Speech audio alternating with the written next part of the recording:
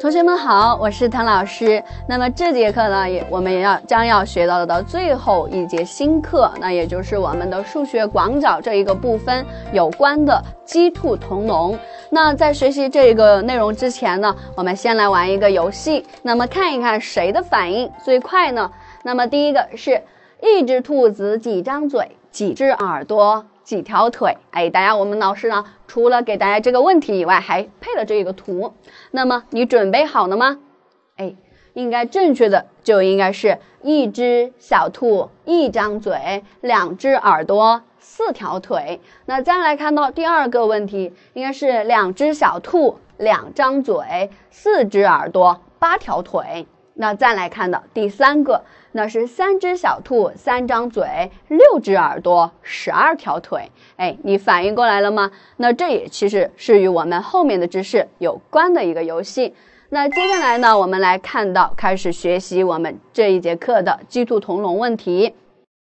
其实呀，这个鸡兔同笼问题呢，早在我们的一千五百年前呀就已经出现了，就是在我国古代的数学名著的《孙子算经》当中呢，就记载了这样的一些趣题。那老师也进行了一个截图。那这样题目是怎样的呢？就是今有雉兔同笼，上有三十五头，下有九十四足。那问雉兔各几何？哎，那到底这个题目是什么意思呢？老师也给大家进行了一个翻译，那就是说，笼子里有若干只鸡和兔，那如果是从上面数的话，哎，是有三十五个头；那如果是从下面数的话，那是有九十四只脚。那问我们鸡和兔各有几只呢？哎，那你能够帮忙解决这个问题吗？我们发现呀，在这个问题当中，它的数字啊都比较大。那么我们不妨呀，在解决这个问题之前，先来一个简单一点的问题入手。那这里呢，就有一个相对于简单的啊题目：笼子里有若干只鸡和兔。哎，这里要注意了，这是两种动物，鸡和兔。从上面数的呢，是有八个头，只有八个头，那也就表示这只有哎八只。那再来看，如果从下面数的话，我们是有二十六只脚。那鸡和兔各有几只呢？像这样的题目呀，一般都是告诉你头和脚的数量，要你分别求出这两类呃动物的一个数量。那这里呢，就有一个同学，两个同学，那进行了一个猜测。哎，这个同学告诉我，应该只有三只兔，也有可能是五只鸡。那算出来的话，一共就是二十二只脚。那么我们可以根据这个同学的一个判断，我们说一只兔子应该是四只脚，那么三四一十二。我们都说鸡的话只有两只脚，五只鸡就是二五一十。那么根据这两个动物它的一个推算，它算出来总共只有二十二只脚。而我们说题目当中告诉我们的总共下面是有二十六只脚，所以我们发现这个同学的推测是错的。而另外一个同学呢，他说如果是有四只兔。啊，四只鸡，那么一共是有二十四只脚。那么我们发现它的这个算出来的这个脚的数量和我们题目的条件也是不符，所以呢也是错的。那么有的同学呢，通过这样的推测呀，我们发现很多情况下都不符合我们的标准。那我们怎样能够又快又好的来计算出我们鸡和兔的只数呢？这里啊，老师就给大家介绍呢，第一种方法就是我们的假设举例与列表的方法。我们先进行一个假设，哎，第一步呢，就是要我们逐一的进行一个列举。那我们假设这所有的动物啊，所有的动物全部都是鸡，哎，假设，那么进行一个全部都是鸡。我们说总共是有八个头，那么所以呢，总共应该就是有八只鸡。那么八只鸡的话，那么兔。就应该是没有，那么一只鸡是有两条腿，那八只鸡就应该是一十六条腿。但是我们说题目当中是应该是有二十六只脚的，那所以呢，我们发现第一种假设不成立。那再来看到第二个，那现在呢，我们依次往后面推，如果是八只鸡不不合理的话，那我们开始逐一的进行一个列举，那么就是七。如果是七只鸡的话，那么接下来我们说总数这两个动物的总数应该是不是有八只？那如果鸡是七只的话，那么我们的兔子是不是就应该是变成有一只了？那么我们要注意这个鸡和兔的它们脚的数量，鸡是有七只啊，我们说鸡一只是有两只脚，而我们的兔呢，一只是有四只脚。那根据我们的推算呢，我们算出它的脚的数量是一十八只。那同样是不符合我们题目的要求。那不用着急，我们继续往后面推。那么分别推出呢？如果是有六只鸡，那么就是有两只兔；五只鸡的话，就是有三只兔；那四只鸡就有四只兔；那如果是有三只鸡的话，就应该是有五只兔。那我们的数量列举出来了之后，再分别根据这个数据的一个分分配，那么再计算出它的角的数量。那么我们发现呀，列举了这六类情况，那么只有一类符合我们的这个标准，那就是我们当鸡是三只的时候，我们的兔有五只。那么这一类分配的情况下，我们发现啊，这动物的它们的脚刚好是有二十六只，是符合我们题目的这个要求。所以呀，我们可以判断出这个鸡应该是有三只，兔是有五只。那么这里要记住的一个啊，要注意的就是我们说在假设列举的当中呀，我们的数字应该是要一定要有顺序的，不要去乱七八糟的去进行一个排列。那大家也可以看到，我们分别是八七六五四三，是依次的来进行一个列举。那除了这样逐一的列举法以外呢，老师还可以提供一个更加快捷的方法，也同样是列举法的一种，那么就是取中列举法。那我们可以看到，同样取中列举法就是这两种动物的数量是一样，那就是鸡是四只，兔也是四只啊，取中正中间。那么我们发现是只有二十四只脚，不符合我们题目的要求。那我们再在这一组数据的基础上。往后面列举，那么只有可能接下来就是鸡就是三只，那么我们的兔就有五只，那么符合我们题目的一个条件。同样，我们能够快速的列举出我们的鸡是三只，兔是五只的这种情况。那么我们可以看到，只用了只用了这两种啊两次列举的方法，就把我们的正确答案求出来了。那我们。注意，那这样呢？运用我们这种取中列举法呢，也是可以大大缩小我们的这一种范围啊。那这是我们的列举法，就是逐一的用数据把它进行一个列举。那还有一种方法呢，是展现的更加的形象，大家也看得更清楚。那就是用我们画图凑整的方法，我们用画画的形式来展现。我们说题目当中，它告诉了我们的是总共是有八个头。那我们就用八个圆圆圈表示八个头，哎，那接下来八个头展示的出来之后，我们接下来要表示的是我们脚的数量。那我们首先我不知道是兔有多少只，鸡有多少只，那我们我们就给这八个头上面每一只上面只添两只脚，哎，只添两只脚，也就是表示我们先假设一下所有的这些动物呀都是鸡。那我们可以看到，发现如果每一只动物我都为它添上了两只脚之后，却只用完了多少呀？一十六只脚，只用了一十六只脚。而我们说还多出来的这十只脚，我们怎么办呢？哎，也就是表示我们剩下的其他的这十只脚就应该是我们兔子的啊。那接下来我们就把这十只脚多出来的十只脚分别。添加到我们原来的这个图形当中。那么根据刚刚的推算，我们分别是给前面的这几个图形，每一个图形当中加两只脚，这是一定要注意了啊！要学会去进行区分。我们说鸡是两只脚，而我们的兔子呢是四只脚，所以呢，我们在把这个十进行分配的时候呀，应该是两个两个的进行分配。那我们可以发现。那第一个图形又加了两只，第二个图形又加了两只脚。那么依次我们可以看到，这十个进行了分配了之后呀，总共得出来一二三四五，有五个是四只脚的动物。那么也就是符合我们前面的条件，应该是兔子。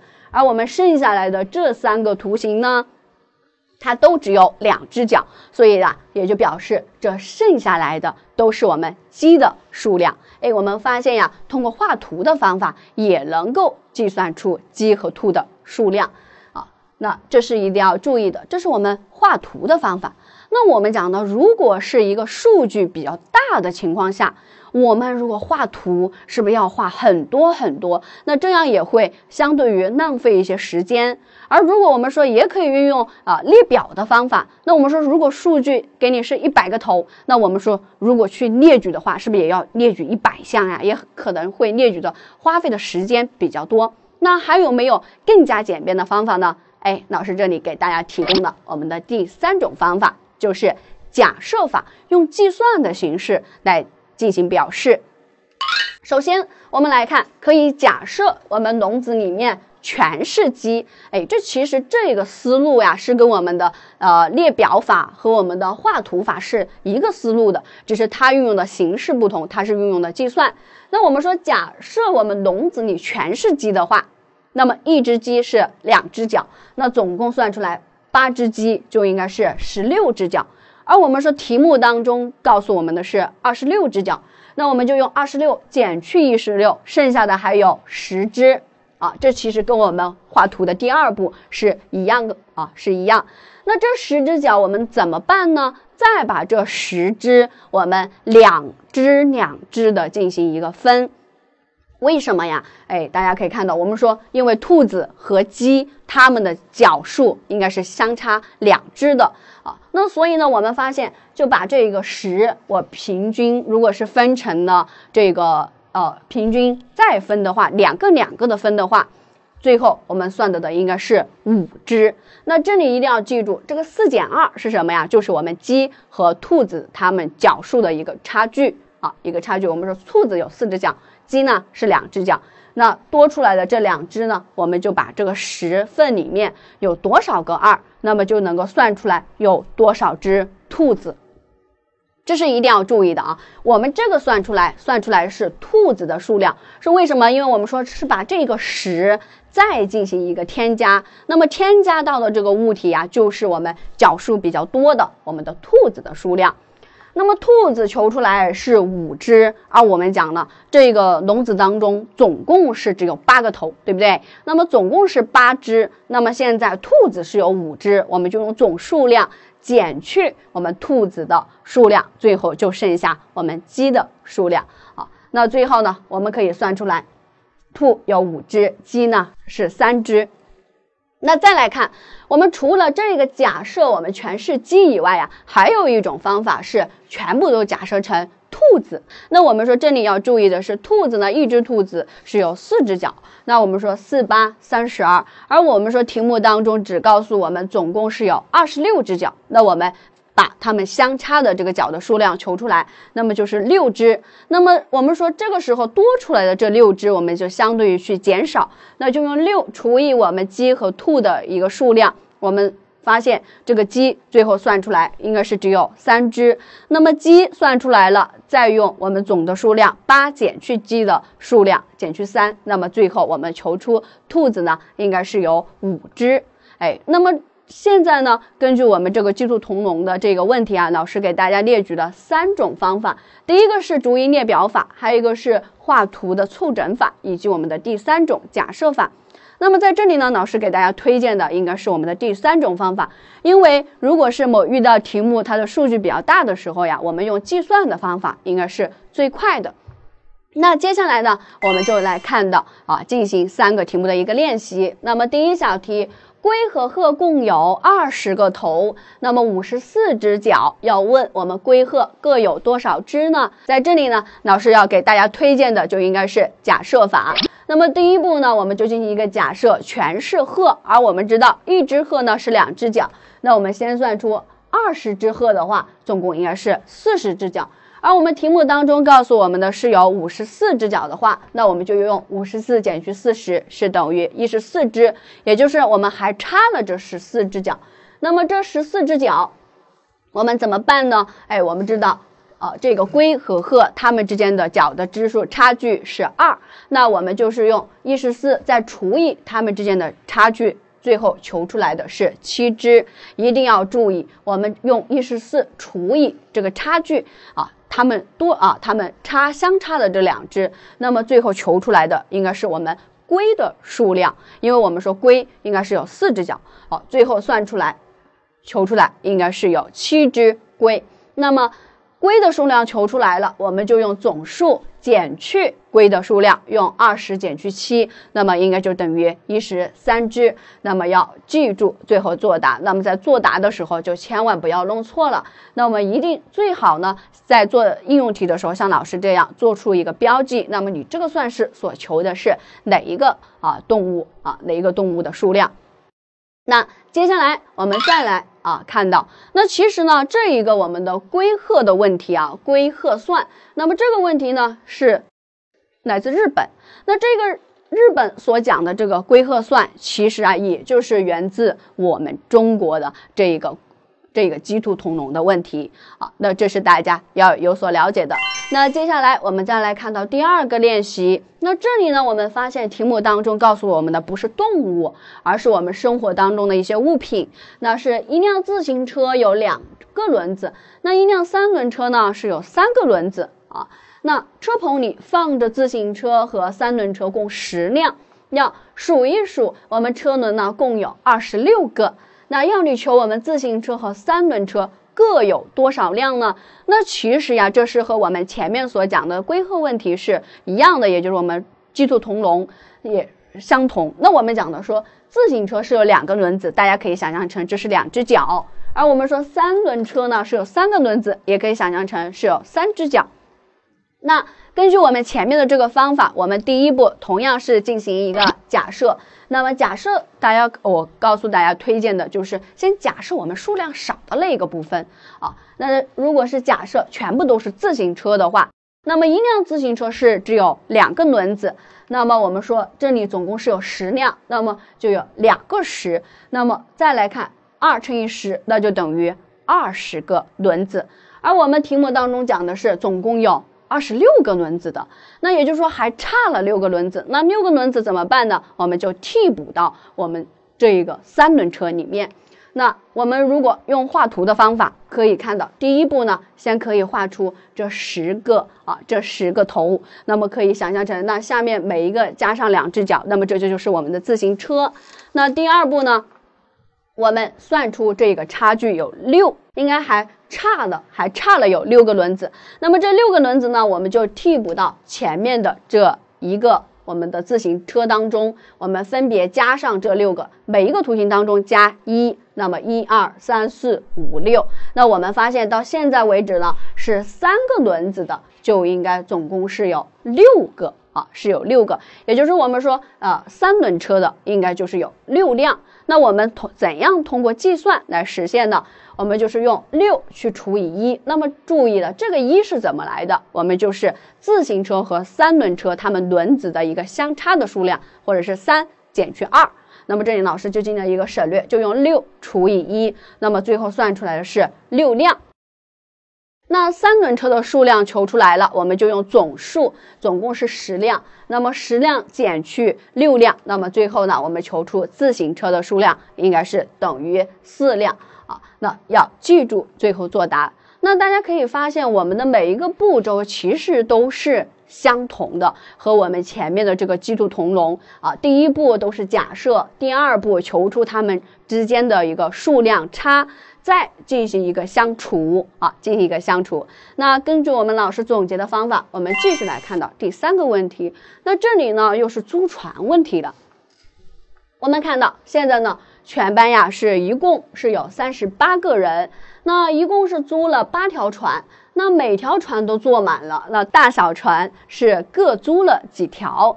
那而我们看到这个图片当中呀，它告诉你的大船了是每一条船只能乘六人，而小船呢是乘四人。那大家也可以不妨呀和我们前面的这个内容知识点进行一个连贯啊。可以把它想象成这是一个六只脚的一个动物，那么这里也可以想象成一个四只脚的动物，都把它想象成与我们前面鸡兔同笼相类型的一个问题。那我们说第一步，按照前面的方法，同样是进行假设。那我们先假设数量小的那一个，全部假设都是小船。那么总共是租了八条船，那么一个一条小船是只能坐四个人。那么四八三十二，那所以呢，我们最后算出来只有三十二个人。而我们前面讲过了，全班呢只有三十八个人，也就是离我们原来的这个数字呢还相差了哎一部分，那就是相差的有我们的六个人。那这六个人怎么办呢？同样，我们要把这个六分配到我们前面的这个大船当中去啊，分配到大船当中。那么一定要注意，我们说大船与小船之间的差距应该是两人啊，因为我们就是用六减去四，那我们就是用剩下来的这一个六人，那么去除以他们之间的一个差距。我们的这两个人就看这个六里面有多少个二，就是有多少条这样的大船。哎，这是要注意的。我们在除以这个数的时候，就是除以这两个物体之间的一个差距。那最后算出来，我们的大船呢是三条，那么再用总数减去大船的数量，就是用八减去三，最后呢是等于五条。哎，这是大家一定要注意的。那么在算的时候，在前面一定要标好，我们你这个算式所算的是哪一类啊事物的一个数量。那最后。再进行一个作答啊，进行一个作答。那么到这里呢，老师列举了三个不同类型的问题。那么其实这三类不同类型的，都是我们在解决的方法的时候也都是一样啊，并且老师呢都给大家推荐的是我们这个假设法，这样呢大家在算起来的时候是会更加的简便，更加的快。那这节课呢，我们就上到这里。希望呢，大家在课后呢，也可以多做一些关于我们呃这个鸡兔同笼的问题的一个练习。好，下堂课再见。